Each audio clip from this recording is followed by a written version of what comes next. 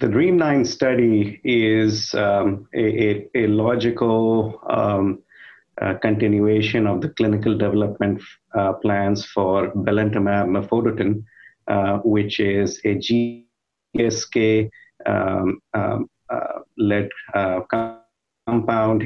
It's a BCMA directed antibody drug conjugate. Uh, which has already shown uh, good single agent activity in relapse refractory myeloma patients.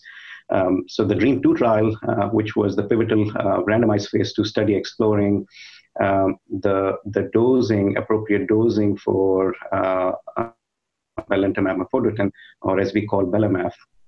Um, you know, it was presented by uh, uh, last year and we, we are awaiting news from the regulatory authorities here in the United States. Um, and, and so the, the drug has now moved into earlier uh, uh, lines in terms of investigation. Um, there are early relapse phase one twos um, and newly diagnosed phase one twos that are running. And, and so DREAMM 9 is, is kind of a, a continuum of that. Um, in the DREAMM 9 trial, um, RVD, which is a backbone PIMID um, uh, steroid frontline regimen, uh, is being explored with belamaf uh, for patients who are transplant ineligible. And this study is a phase one three trial. So there's a phase one portion to it where the belamaf dose uh, in the frontline setting that's being explored is 1.9 milligram per kilogram. Um, and, and once the phase one portion of the study um, is done.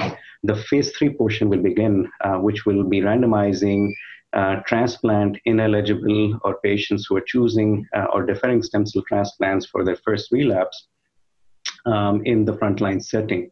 Uh, patients will be randomized to RVD for, for induction or R- RVD with belamaf uh, for induction, uh, followed by um, a maintenance schema until relapse, uh, progression, or intolerance.